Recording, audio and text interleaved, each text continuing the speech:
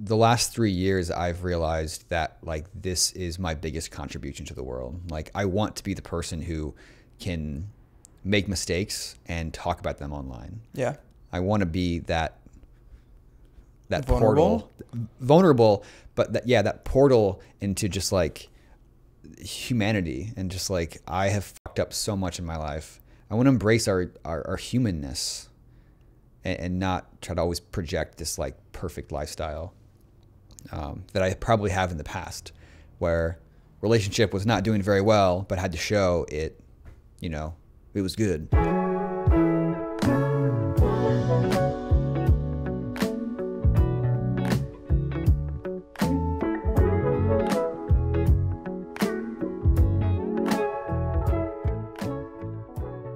I mean, they just keep going. At this point, what are you blowing? Wild to me. I, I guess I was telling Kevin, Thursdays are the day that the landscaping guys come for our apartment complex. Allegedly. And- allegedly. And evidently, today's Wednesday, and they've been here for an hour, and we've been just been What time did they the get couch. here? Let's just say an hour Okay. for dramatic sake. I'm like out of breath for some reason. You did the whole setup. I know. I just sat here looking pretty. Like, I'm ready. well, honestly, someone needs to look pretty, Thank you. And it's got to be you. Thank you. Uh, I was taking the compliment even before you directed it at me. sorry. I, I sometimes just like ignore what you say. Okay, where should we start? Where should we begin? Well, I feel like we Oh. should begin with like. No, go ahead. Well, I don't think people. I was gonna what- do the. Oh, sorry, I'll just keep interrupting you. I guess. I know. go ahead. Go ahead. Mansplain. Um, no, I was gonna say I don't know if people know who I am, so maybe I should like say hi. That's that was such a adorable thing. To be like, do people know me? I was like, I mean, um, yeah, you're you're Kevin people know me. Norman, the the infamous gay book talker yeah, that's true. and social media personality. true. Um, so yeah, Kevin Norman, everyone. I'm gonna I'm gonna add some cheers right here, so people. Um, but yeah, Kevin and I have been friends since 2016 or 2017. I really want to tell the story of how we met because it's a very memorable thing. We we actually bring it up from time to time because it was just It's a good story. Um, let me introduce it and then you can finish it. Okay. So Which version are you gonna give? uh, the only version that exists. Uh, I'm teasing. There's only one. There's a there's a uh, a rock climbing gym called Hollywood Boulders here in Los Angeles, and I started going to it as soon as I moved here the first time in 2016. And maybe my- Question. yeah, Sorry to interrupt. Yeah, How long were you living here when you when I saw you at that gym? maybe three or four months. Oh shit. It's very fresh. okay. I, I'd realized like once I moved to LA that like rock climbing was like the cool hip thing to do, and I was like, True. Well, I'm cool and I'm hip, so I got to do now. so I got to do things. So I go there, and um, maybe my third or fourth third or fourth visit, Okay. this this like smiley, young looking twink walks up to me, just with a nice gentle hug. His head is kind of down, just ready to hug me, and I was like, okay, and I hugged him It's back. Such like thinking back, the weirdest, the Yeah. weirdest approach. But it, lo- look, yeah, it led to friendship. it did. Yeah. I had watched her content um, Mm-hmm. previously, and I was like, in my mind, you were kind of like the only YouTuber I really watched who Mm. was queer. Um, and so I was like, okay, if I ever run into this guy, I'm gonna give him a hug, like as a sign of a thank you. You were about to leave, and I was like, okay, now's my moment. And I don't even think I thought. I just like walked up to you and gave you a hug. I was in a relationship at the time. You were single, I was single. Yeah. and now it's flipped. Now you're in a relationship, and now I'm single. Hmm. Um, but yeah, we just had good chemistry right off the bat. I felt like it was just comfortable. Yeah, it's. I think I would say it's really easy to speak with you, um, because I feel like you and I can talk about deeper things that maybe I can't with most of my friends. Sure. So it's refreshing. I would say 2016 version of me was like one of the hottest versions of Okay. of myself. That but is I was, that is like such a strange thing to say, but, but I was like, I think I was. We'll talk about it more. But no, I- no. Actually, I want to hear it now. No, wh- I was like, why do you say that? Because I was like really fit. I was very confident. It was the first time I was like living on my own in the major in a major city. So I like felt like the world was my oyster and I felt good. Except I'm happier now than I was then. Right. Right. But you had like the that young, youthful swagger about you. yeah.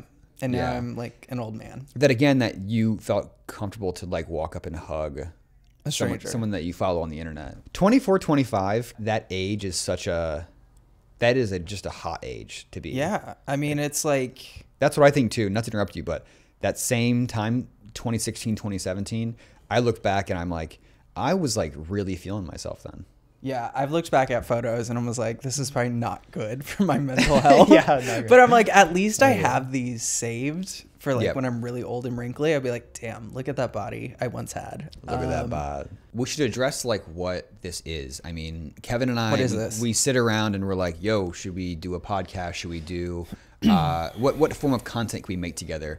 Because we we just have fun with each other. We have fun chatting, and uh, And we're both creators, so yeah, yeah. So we like think in the form of writing content like this, and um, so yeah, we're just gonna start making some videos like this where it's kind of an open discussion platform, uh, and we'll go from there. But Yeah, I'm also curious to see what people would be inclined for us to talk about. Um, although I've made a very extensive. I, list. I mean, yeah, I mean, we've already kind of prepped for it, even though it maybe doesn't seem like it. But I mean, we have. I'm looking at a, uh, a Google Doc here that um, credit to, to Kevin to put together, uh, which is great. I love it. We have. Uh, I thought we could just like do a fuck Mary kill in the middle. Let's of do this it. Video right now, just because. I just because I'm a single horny bastard, and uh, we gotta find you someone. Listen, I'm not looking for somebody. I just, uh, I think single people are probably they tend to be a little bit more. They run hornier than like the average. I mean, listen, you, you're having Yes, you're having steady I have a- action. yes. Okay, so it's like not okay. so uh, this is this is my way of like enjoying life right now. Okay, so shut the fuck up. great. Um, Shut it up. All right, fuck Mary Kill. We have AI generated Timothy Chalamet, Okay. 1980s Harrison Ford, Oh, or Papa Pedro. I'm gonna kill Timothy Do. Chalamet. Um, daddy issues. I don't Yeah, know. No, it's fine. Um, I'm going to marry 1980s Harrison Ford, and I'm gonna fuck Pedro Pascal. now, why why fuck Pedro? Um, because my favorite movies growing up were Indiana Jones, and so if I can spend a lifetime with Harrison Ford and get that D all the time, Yeah, I'm gonna especially take it. 1980s, 1970s Right. Harrison Ford. So I'm gonna take that. Pedro Yeah. Pascal also hottie, but Yeah. I want to spend my time with Harrison. To me, he seems like such a gentleman. He seems like he'd be sweet. He would, but it's funny in the in the context of the game though. Most people would choose the fuck to be the most wild Right. of the one. Destroy my whole type thing. Yeah, absolutely. Yeah, the whole destroyer. but but Pedro, I think he's gonna be gentle with you. I could guess yours. Sure, go for it.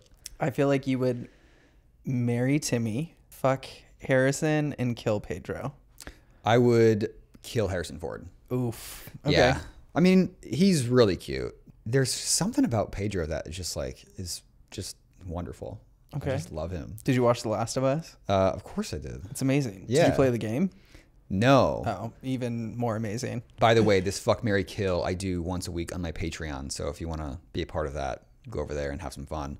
But no one asked me where I got this picture of Timothy Chalamet. I wasn't. I It's would not have known that was AI generated until you told me. Right. But then, But also, apart- where? well, that was my other question. I was like, when? why is Timothy? Why is he doing this? why is he? Why is Timmy doing this? but shit? why is he not doing that? What? That's the question. Right. Oh, so last night at the gym, I was talking to a buddy uh, that guy I just met. Yes. And I was like, "Why are twinks so hot right now?" They've. I think Are they're. they? I think they're just always hot. Here, this is my thing. Okay. My theory is that twinks are so hot, like Troye Sivan, Timothy Chalamet. If you think about it in terms of like male female audiences, most of the gays are down for twinks. Yeah. All the women are down for twinks. Yeah. Not all, but well, it surprises me. it does surprise me. Like, Like, yes, I- I, agree. I agree. Well, I have a friend who has a Twinkie boyfriend. Um, I just met her. yes. Yes, And her boyfriend so, but I, oh, you said oh, her boyfriend is cute. I don't know. I also knew a girl in college who was like, I want a very f- effeminate man, and I was like, Sure. interesting. Okay. Like, I feel like we're so conditioned to think like women want strong, bulky, masculine men. Lumberjack. and Masculinity. now they love Timothy Chalamet. That's interesting. Is it because of the toxic masculinity Probably, if I had to get, well, maybe. Like, I'm not gonna speak for for the whole for all of women? all of yeah, um, Hmm. but possibly, Should we do the other one that's on here? yeah. as let's well? do it. uh, to kind of test our theory. Uh, so the next one is going to be a, a young Hugh Grant, Okay. uh, Mahershala Ali, or Steven Sanchez. Why that's a little. That's a little tougher. I feel like. Uh, you go first. I'm Uh, first last time. Okay. Um, I would probably fuck Steven Sanchez, marry Mahershala Ali, and kill Hugh Grant. I would do the exact same thing. Would you? Yeah, that Oh, was yeah. exactly my. Also, Steven Sanchez. You can have your little Twinkie boy fix, but also Mahershala. He's straight though, right? uh, well, I mean, they're all straight. Aren't I they? mean, straight. Yeah, straight. The new uh, True Detective with Mahershala Ali. Okay. Incredible. Oh, he's in um, the Netflix Julia Roberts End of the World one, correct? He is, yes, yes. Yeah. We're just staring at the pictures. yeah, yeah. well, speaking of men dating, okay, in what context? well, like, what do you think the dating scene is for queer people right now I think dating um, in general? in general for everyone, male, female, gay, straight, is a challenge. I think meeting new people is a challenge. I think it's tough to give people a chance and also to give yourself a chance to be loved. We're so addicted to our, our screens these days. And I don't know it's like everyone says that, but it's the fucking truth. I mean, and my problem is, Kevin, is that like I will be on Instagram looking at literal models and then in the same breath, I will go over to Tinder and then I'll be like, wait, I think it's like, is it cognitive dissonance? Is that right? I don't know if that is. I don't know It's probably wrong, but Okay. I say Someone correct wrong- us. Some, please someone correct me. But you get my point. Yeah. Plays with your head. It's I fucked up. remember years ago reading an article that was basically about like the paradox of choice and that relationships are harder nowadays because there's so many options. So if one thing goes wrong, people just go, "Oh, there's like a million other people out there. I don't have to work towards this. I don't have to fix it. I don't have to do anything." Yeah. um, which then goes back to my point, which I've told you before, is that love is a choice. And so when you do fall in love with someone, you're choosing that person and that love every single day. And it's not always a feeling. So I think when it comes to dating, to give people chances and get to know them, which I know is Seems like you're Hard. directing this right at me. I, Uh, I didn't say that. um, yeah, yeah. But finish your sentence. Sorry, I cut you off. No, that was that was pretty much it. Um, well, Yeah. which to talk about like dating in general, I agree. I have girlfriends who are like dating is so hard, dating is so hard. So like everyone I've spoken to, it seems to be like the consensus.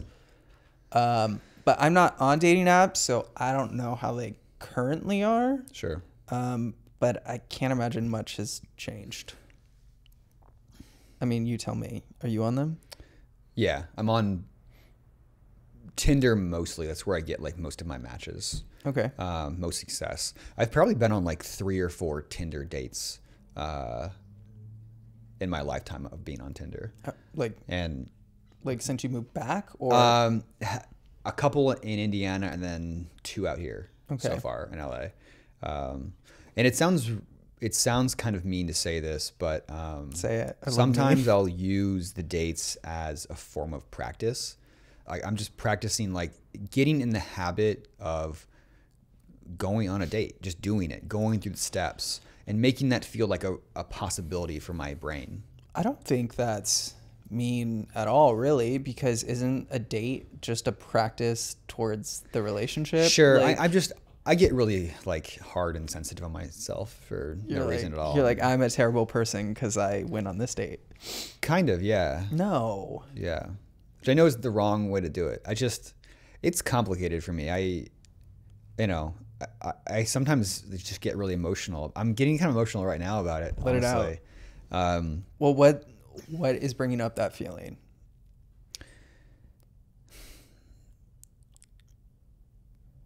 I I don't give I don't give myself a chance to be liked or loved. With making new friends is easy because we're not on a romantic plane.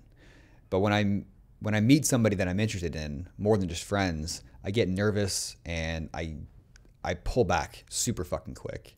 And I know I don't make myself available to them because I'm like, oh, this person is not gonna fucking like like me. Um, So- again, that's that's a portion of it. That's not how my brain operates every day. It's tough, man. I'm working on it. I'm working on it in therapy. I'm working on it uh, just with myself. But it's we've talked about it. It's hard. I don't yeah know. i mean it's a it's a way for you to protect yourself it's ultimately a fear of rejection Yeah. and so you kind of push them away so you're like if i'm the one to leave i can never get hurt Yeah. um which I don't want to hurt them either. i know but I don't want anyone to get hurt. I think which is not a realistic. Yes, I, I know exactly. it's, it's not. It's not realistic to go into it expecting. You know, both sides are going to be happy at the end, but coming off of a relationship that really did a number on me, um, I've talked to some people in the last three and a half years. You know, casual dating, um, and uh, yeah, it's just tough, man. I just uh, I need to keep working on it. i mean as so i told you before that like because your relationship was so public i think that's an element to it that most people won't ever have to deal with. And Yeah. i think it also because of that had invited people publicly into the relationship Sure. and now also in a way into the breakup. And so it's it's interesting. And i commend mm-hmm. you for doing all the steps that you need to do to work towards it. But i get why it would be hard and scary and yeah, yeah that's normal. I also am the one who turned the light on and invited them inside as well. You know, like it's it's my job, it's my career, so I'm partially to blame for so it's all his fault documenting my life so closely uh, and involving my relationship uh, and my breakup. But the last three years, I've realized that like this is my biggest contribution to the world. Like I want to be the person who can make mistakes and talk about them online. yeah I want to be that that Vulnerable? portal, vulnerable, but that yeah, that portal into just like humanity and just like I have fucked up so much in my life and more than you guys even know. And um, yeah, I don't know. I just want to embrace. I want to embrace our our, our humanness and, and not try to always project this like perfect lifestyle um, that I probably have in the past, where relationship was not doing very well, but had to show it, you know, it was good.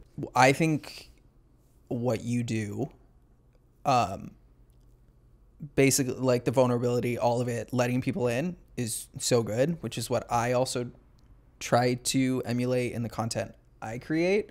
Not to the same extent, we do very different things, but um, I get it. And I was, was saying, like I told you earlier with how we met, like you really helped me in the time that I was kind of coming out and figuring myself out. I'm sure you've done that for a lot of people. Um, yeah, like keep doing what you're doing, For sure. I'm going to. as if you needed my approval. But no, I. It it feels nice to get that like validation and support from you, because I I love you and I value you so much as a friend. I love and value you too. And yeah, the, the one thing they never teach you in school or anything growing up is that people come and go in your life. hmm That that was a really tough pill to swallow for me. I still struggle with it. Dude, it's, yeah, hard. It's, it's fucking It's sad. shitty. I mean, you I know recently had some people. Yeah. Um, yeah. My best friend of like 13 years, 10 years, 11, 12 years, like we just reached a point where it's like, uh, I- I think we're not growing in the same direction. Yeah. And I think it's beneficial for us just to take time apart. Um, but I don't know how much time that'll be or what that'll look like. Um, it's it's hard, and I think I want to just like hold tight to people. Um, but as I've gotten older, I've realized like the people who are meant to be in your life will be. I think of this quote from a movie I've never even seen, but it was in the trailer and it's always stuck with me. And it was basically like, um, they basically said, I think he wanted somebody else to be there. And the girl was like, Yeah, but we're the ones who showed up. And so I always think of like the people who show up for you, That's your circle. Um, and I think a lot of times, I, a lot of people will hold out for like something better, like a better partner or a better Yeah. friend or a better something. So you push aside people who are actively trying to be in your life. And I'm guilty of that too. Yeah. Um, and so I think just being aware of it has really helped me. And then like this year, I was like, who do I want in my circle? Who's actively trying to be in my circle? Mm-hmm. Let's make that happen. Well said. Thank You've you. always showed up for me, like every time, every step of the way. You were a big part of. Uh, you, you got me through a lot of some some shitty times. Uh, Did the last I? couple of years, you did, yeah. Uh, just you didn't know, you know. I called you when I was super lonely and fucked up, and I probably didn't say that to you, but you know, yeah, he he never you- said that to me. you, you did help me. But back to what you were saying, it's kind of that. What was the paradox thing you talked about? Decision something. Oh, choice? paradox of choice when it comes to dating. Yeah, it's it's that like kind of applies to friendships as well. Oh, for sure. We kind of assume that it's like, oh no, okay, well, I'll make a new friend. Don't worry about it. Right. it. When I see this is this is my brain. This is Wait, this I- is I this is my this is my fucking problem, dude. I overthink I mean, everything, and this I'm should working. just be called overthinking. when I'm talking to someone or I go on a date with someone, I my question to you is To me, you're the person you go on the date with. uh, to you right now, Okay. and the question I ask myself: How will I know? I asked you this last weekend, but how, Makes me think of Glee. I know, and, and it sounds so fucking. I'm like such a romantic person that this is the way ro- romantic people think. We're like, oh, will sparks fly? Will they literally fly out of my fucking ass when I, meet this person? How would you know if this is the person that you should really open yourself up to? Is it going to be obvious, or is it, are you going to need to like put some work in to really know? Does that make sense? Am No, it, it totally right? makes sense. I'm just like now crafting a response in my head because I totally get what you're saying. I think I spent a lot of my life being like, oh, it's thunderbolts. Like you should feel butterflies right away. Yeah. And anytime I've ever felt that with a guy, it ended in utter chaos. Like Mm. I would lose myself. I notice when I feel that feeling, I'm not being me. Mm. And so my current boyfriend now, um, when we met, I was like, oh yeah, he's cute, but I didn't know, I wasn't like head over heels. I didn't know where to put him. Um, whereas in the past, I think I was always like so quick to put people in a box. And he was someone I was like, he's nice, he's genuine. Let me get to know him. Sure. I got to know him five years later. Um, here we are. And so Your I- boyfriend's amazing, by the way. thank you. Um, yeah, Dan's the man. I'll tell him. Uh, and yeah, I think it's just giving people a chance. Like obviously there has to be an attraction and some form of a connection, but Yeah. I don't I don't trust instant love and so Kevin is a is a writer and you're a poet. Truly, like every time we meet, you hand me like a handwritten, hand typed on a typewriter poem, and uh, there are just times when I am reminded of how your brain works, and you're just so. I just love the way you, you speak. Sometimes it's really. Yeah, it's it's very it's just nice. thanks. Yeah. I like my brain feels crazy, so it's funny your brain helps my brain make sense of the world I love that.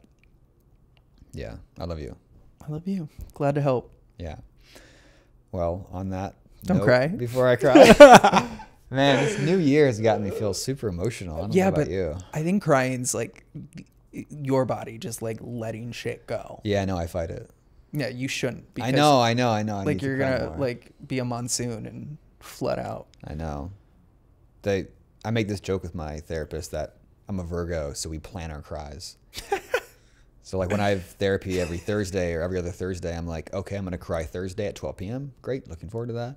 I But I don't know how you operate that. like that. I could not.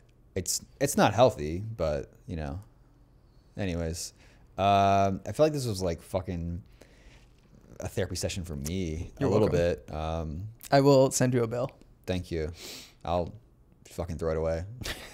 Like, You're like, I'm not paying that. this is friendship, bitch. so, um, well, thank you. I think this first episode, this first video went well. Um, let us know in the comments if you guys like Kevin. If you never want to see him again, um, just let me know. I hope you guys like me. And Um, uh, yeah, what's not to like? You're you're great. Thanks. You're very likable. thank you. Um, yeah, we'll see you guys soon. Bye. Peace. Should I say bye? Well, yeah, let's do let's do love you. See you. Bye. Okay. Love ya. See ya. Bye. Bye.